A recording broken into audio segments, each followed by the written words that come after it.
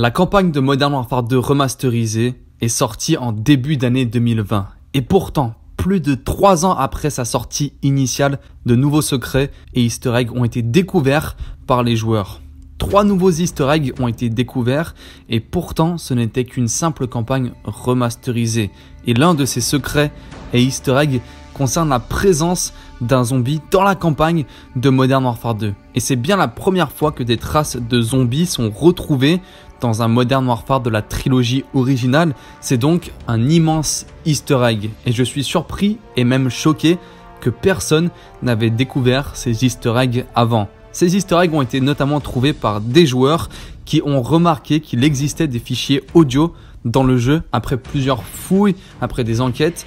Les joueurs ont remarqué qu'il y avait des bruits de zombies dans les fichiers de la campagne de Modern Warfare 2 remasterisée. Donc en inspectant le jeu et en fouillant, les joueurs ont donc découvert ces easter eggs, surtout le premier easter egg qui se déroule donc dans la mission Le Goulag. En passant la première portion de la mission à l'extérieur du goulag et en entrant donc dans la prison, le joueur va se rendre dans une sorte de tour dans laquelle on retrouve un grand arsenal avec énormément d'armes variées que le joueur peut utiliser et prendre, mais surtout plusieurs télés dans cette salle. Et l'une d'entre elles est particulière, étrange et assez suspicieuse. Cette télé est éteinte et donc pour activer cet easter egg, le joueur doit progresser dans le niveau, se rendre au prochain étage où l'on retrouve plusieurs cellules de prison, éliminer donc tous les ennemis sur l'étage et puis trouver la cellule 227. Et ce qu'il faut faire pour activer l'easter egg est relativement simple. Il faut lancer une grenade dans la cellule et la faire exploser à l'intérieur de la cellule. Alors vu l'angle du trou, c'est un peu compliqué par moment, mais une fois fait, le joueur doit donc retourner dans la tour où l'on retrouvait l'arsenal d'armes et cette fois-ci, cette fameuse télé qui était initialement éteinte va s'allumer et cette fois-ci va montrer une vidéo dans la cellule, une vidéo dans laquelle on retrouve cette fois-ci un zombie enfermé dans cette même cellule où l'on avait jeté la grenade qui avait ensuite explosé.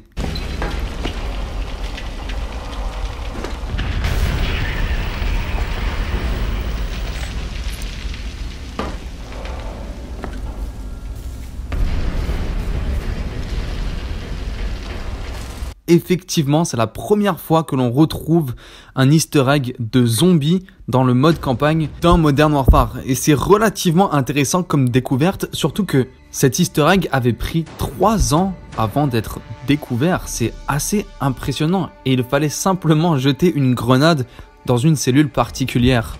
Et ça reste hallucinant de voir du zombie présent dans la trilogie originale des Modern Warfare. On sait qu'Infinity Ward a toujours été très distant de l'idée de zombie jusqu'à la sortie d'Infinity Warfare qui incluait un mode zombie, mais avant ils ont toujours été très très très distants, il n'y a jamais eu de vraie référence et ça n'a jamais été le cas surtout dans la trilogie originale des Modern Warfare et c'est assez fou car cet easter egg paraît tellement simple et évident mais tellement bien caché, il fallait simplement lancer une grenade et la faire exploser à un endroit bien spécifique. Ce prochain easter egg et secret se trouve à la fois dans Call of Duty 4 remasterisé, mais aussi dans la campagne de Modern Warfare 2 remasterisé. Et il a aussi été découvert plusieurs années après la sortie de ces deux jeux, techniquement donc 6 ans après la sortie de Call of Duty 4 remasterisé et donc 3 ans après la sortie de Modern Warfare 2 campagne remasterisée. Ce sont les mêmes joueurs qui ont aussi découvert d'autres fichiers audio concernant un easter egg et qui l'ont donc découvert. Étrangement, ils avaient trouvé un fichier audio dans Modern Warfare 2 campagne remasterisée du personnage Sergent Griggs.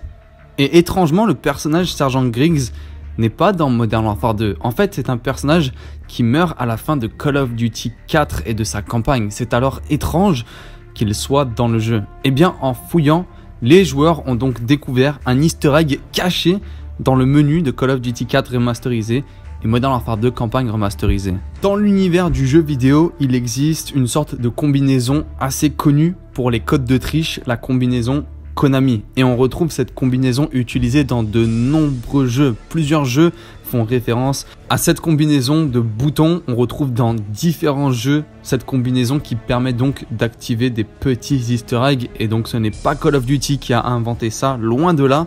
Cependant, cependant, il existait aussi un code easter egg Konami dans Call of Duty Black Ops 1 et son mode zombie, plus précisément sur la carte Shangri-La. D'ailleurs, cet easter egg avait été découvert près de 10 ans après la sortie de cette carte zombie et c'est le cas aussi dans Call of Duty 4 remasterisé et Modern Warfare 2 remasterisé. Ce code Konami a pris des années à avoir été découvert. Il faut simplement l'entrer dans le menu du jeu et ce code permet aux joueurs de débloquer l'entièreté de la campagne.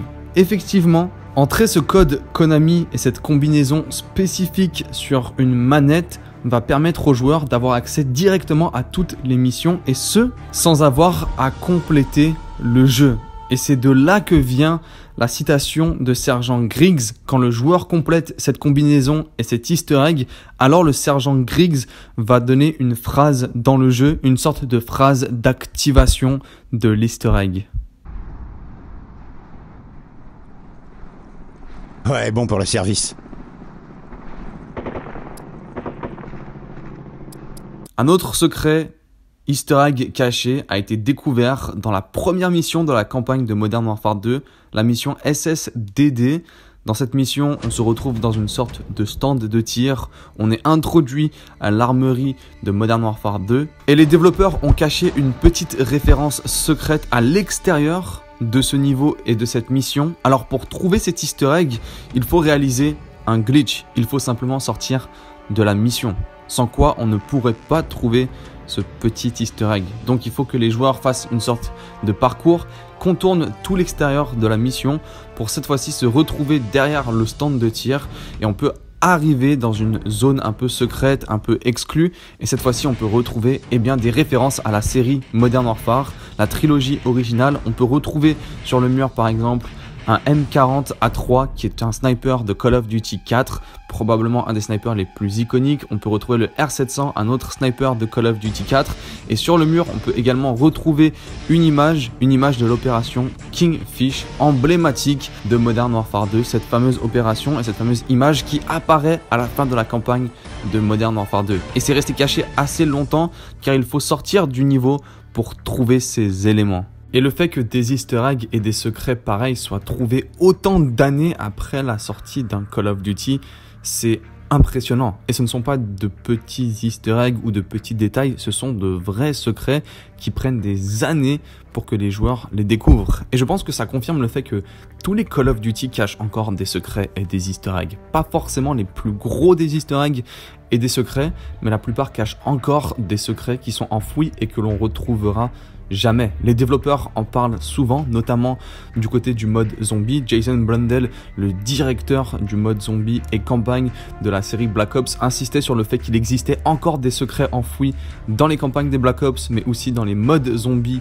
des Black Ops. Et je pense que ça dépasse simplement les Black Ops qui souvent ont plus d'easter eggs, mais vraiment la globalité des Call of Duty cache encore des secrets. On avait notamment Michael Condry qui était un des directeurs en chef de Modern Warfare 3 dans le studio de Sledgehammer Games en 2014, soit trois ans après la sortie du jeu, révélait l'existence d'un easter egg et secret impossible dans Modern Warfare 3 en donnant un petit indice sur Twitter indiquant que le secret n'avait toujours pas été trouvé, un secret visiblement qui regroupait les graffitis que l'on retrouvait dans les différentes cartes et missions de la campagne du jeu, ainsi que des symboles que l'on pouvait retrouver en fait dans la globalité de Modern Warfare 3. Michael Condry révélait donc qu'il existait notamment ce secret sans réponse dans le jeu, et il doit probablement en exister un tas d'autres secrets qui n'ont jamais été découverts. Personnellement, je trouve ça impressionnant qu'un jeu comme Modern Warfare 2 remasterisé cachait encore des secrets et des easter eggs autant d'années après sa sortie. En tout cas, ce sont les nouveaux easter eggs de Modern Warfare 2 remasterisé qui ont été découverts en 2023 et qui sait ce que les autres Call of Duty abritent comme secrets et easter eggs. Merci à tous d'avoir regardé.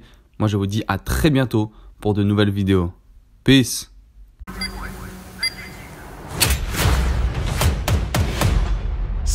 Yeah?